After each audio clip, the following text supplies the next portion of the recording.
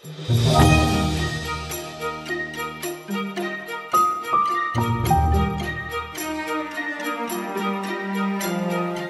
today we are here to review the Sioux City Prickly Pear. Uh, I assume it's soda. And it's uh, prickly pear is like a cactus. It's actually the red fruit on top of the cactus. So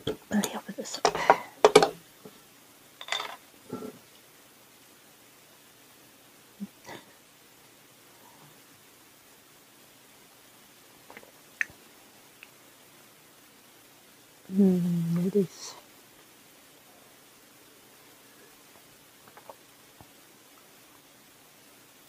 Very tart. is made with uh, cane sugar.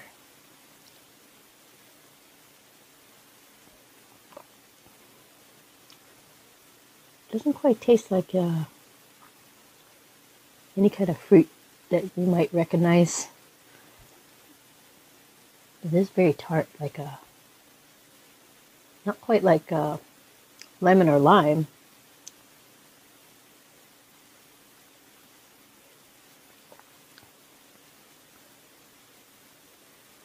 I think it's flavored with artificial flavors, though I was reading the ingredient list, so it has no actual prickly pear cactus in it.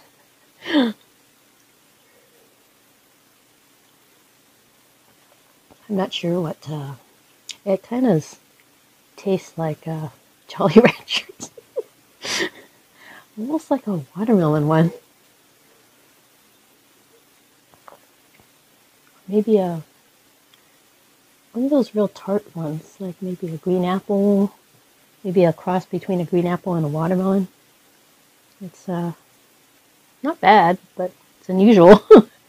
not quite your, you know, cherry or or strawberry flavor or mixed berry flavor. But it is different. So if you want to try a, something a little bit different, you can find these. Uh, we found this at, uh, let's see, I think at uh, Big Lots. And so uh, your Big Lots might have them too. The, ours has a selection of some glass bottled sodas that you can buy along with their, you know, canned sodas and uh, plastic bottle sodas.